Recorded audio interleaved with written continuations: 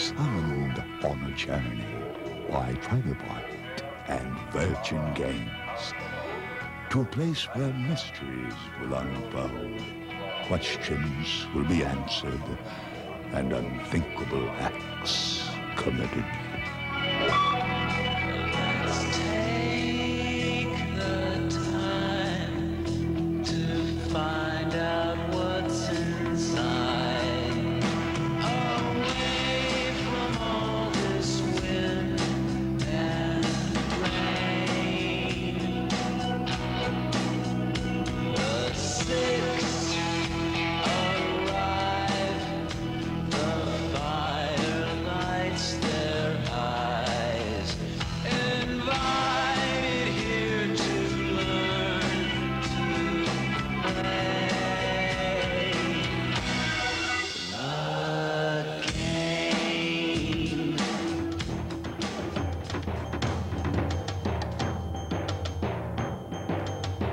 Nestled deep in the heart of Oregon, lurking amidst the quaint bed and breakfast dens of a small one-horse town they call Jacksonville, we find a company that has changed the face of global entertainment forever.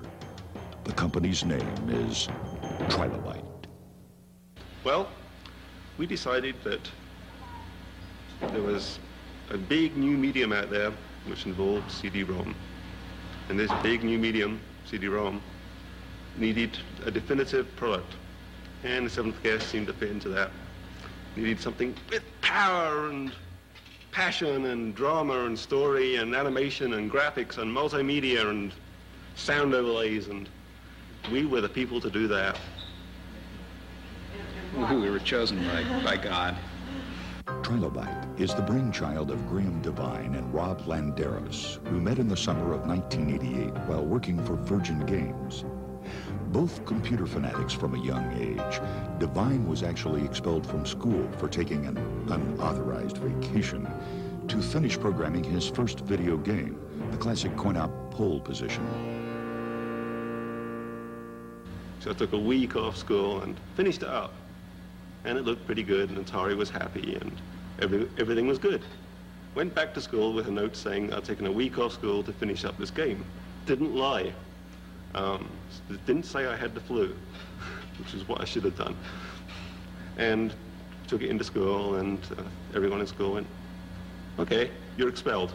Both Devine and Landeros drew upon their colorful pasts and interests in the macabre to breathe life into the seventh guest. And uh, the whole horror genre really appealed to us, doing an interactive version of Clue combined with David Lynch-like effects and this is what we basically outlined to Matthew. We have this house that's going to be haunted, and the villain's going to be an evil toy maker, and his house is going to be filled with evil toys.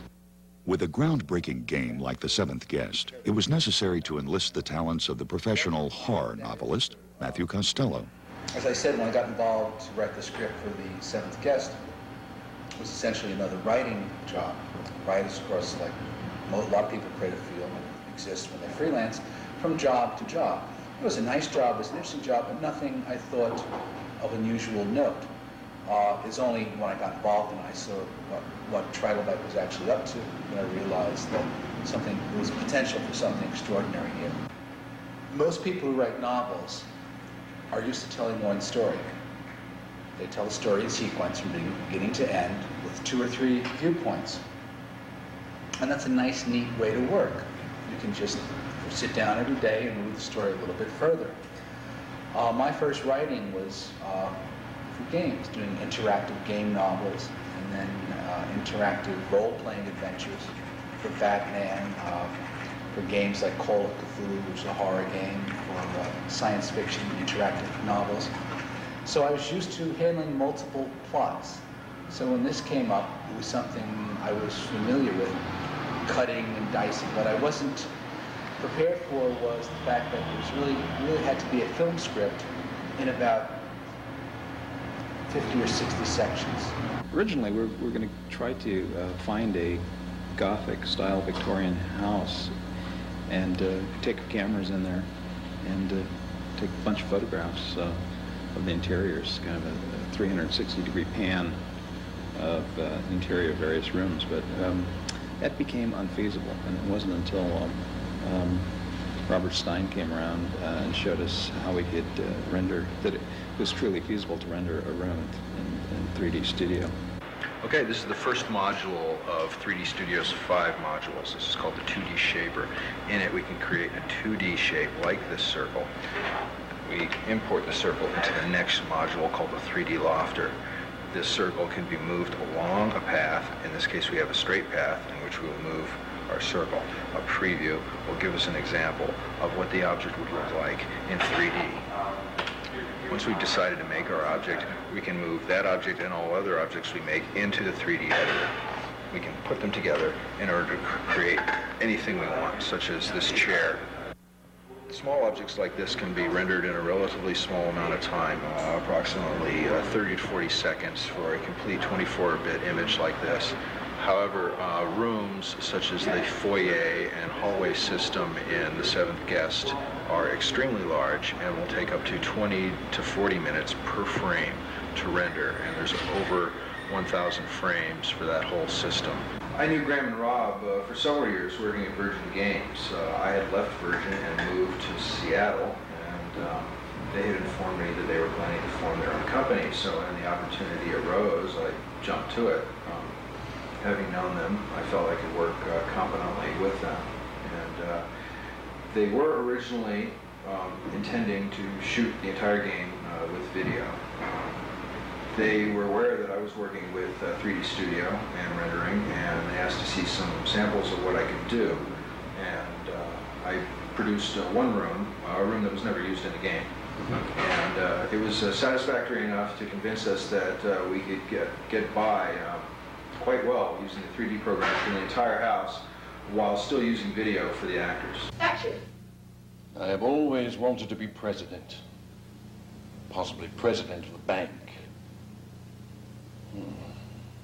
Playing with staff will be a breeze. I will surely win. Cut. My name is, is Deborah Mason, and um, I directed the live action for The Seventh Guest, and I acted as the character Martine Burden. Reach out, move the camera, roll your eyeballs. This particular type of acting is a new technology. Feature film acting has been around for about 100 years and is a series of, of angles, close-ups on the person.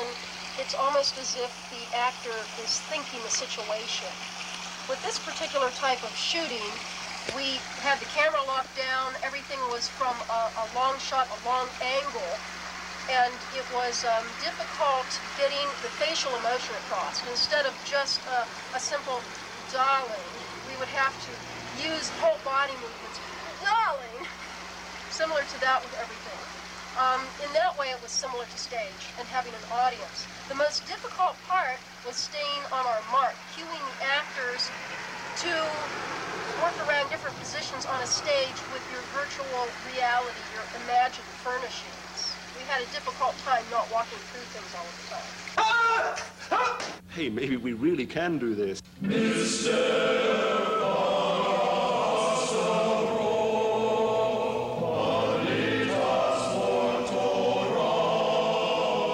When we first got in touch with the Fat Man, we didn't know who the heck he was.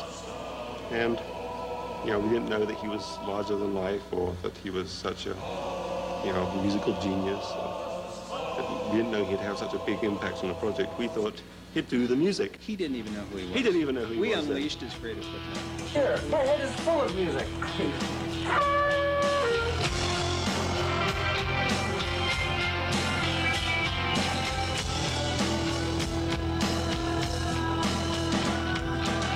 Here I am. This is my team. I'm the Fat Man. Seventh guest. Dave Govett, Wing Commander, lots of stuff. Joe McDermott, baseball, lots of other stuff. Kevin Phelan just sits around. I've got a piano for, for one character. I've got an oboe for another character. I've got a muted trumpet for another character. And they're all reflecting the personality of the character. The muted trumpet is sexy. The oboe is kind of doddering. Uh, the, uh, the piano is a piano bar. Uh, the, this, there's a circus, there's an organ like from a circus sideshow, and that's for the mus musician.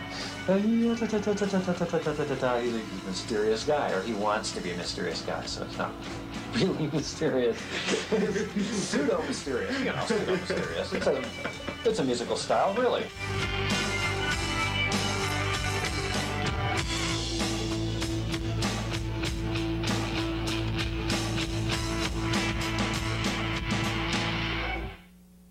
The Fat Man in Austin, Texas, we return to Medford, Oregon, where the sound effects and audio post-production were handled by sound designers Greg Hayes and Webb Staunton at Staunton Studios. Well, you know, this uh, this project's been pretty incredible. The sound design on it was was huge, to say the least. All the sound effects we had to create, it was it was much like uh, creating sound effects for, for a movie. Right, the first step, of course, is just to, to break down the script, go through the script with a fine-tooth comb, break it all down, and and that that process is real important that you identify all the all the sonic events that the uh, scriptwriter uh, was was envisioning, and and get those clearly in mind. Again, the texture that they were envisioning and the creators are envisioning, and then from there Yeah. begin. Uh, Greg, Greg would issue me lists of, of sound effects, and I would go in the script and see how the sound effects plugged in. And then we would literally go and say, okay, we have these effects already available to us. Let's use these, but these are the ones that have to be created. For instance, uh, some of the effects we did, um, one, one little sequence we did, we took a, uh, uh, a coconut, and we broke this coconut into, into multiple pieces, trying to get a, a great head cracking sound. So when one of the guys gets slammed up against the wall, his head cracks. It gets back to that thing of you create a very deep, rich environment for each of these areas, and and that's the process of it's a layer at a time, and you've got to know when to stop. You know, overbuild certain areas, and so you've got to find that uh, We'd, balance. we'd go in and we'd look at the rooms and we'd say, okay, we have a room here that's, you know, what's the, the estimated diameter of this room? And what's, is it got carpet on the floor, is it wood on the floor, what do the ceilings look like? And we would uh, design the, the uh, delay settings or the reverb settings so that, uh, or the echo setting, so this, this room would have this believable decay time. And this room doesn't even exist. I mean, that's what's so Yeah. strange. It's it's just it's a it's an abstract room, but yet we you know you, you it, it, it is a real room. You have to believe it is real. You, you're the one. I'm gonna leave, Mister. Don't, don't run away, please. Don't run away. Don't go. Don't go. Bringing all these elements together and fitting them into two CDs requires the use of a relatively new technology known as digital compression. Well, for the seventh guest, really, I think it's all hinged on compression technology. Uh, we take full motion digital video and a, a relatively high-res screen, 640 by 320, and we compress it.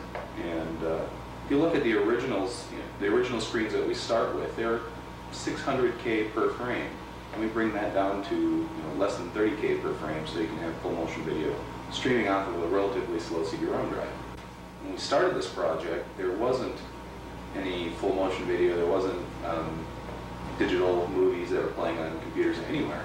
Uh, we were really pioneering into that area uh, with you know handling audio, handling video, handling all that. There was no tools that could handle a high resolution screen.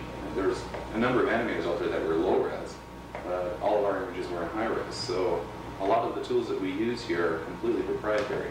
Basically, there were there were no tools for doing the seventh guest uh, when we started out on this project, and uh, fortunately, some right ones came along, and what wasn't available, Graham made. While creating such an avant-garde software product proved challenging, Devine and Landeros expressed no regrets for undertaking this highly anticipated multimedia endeavor.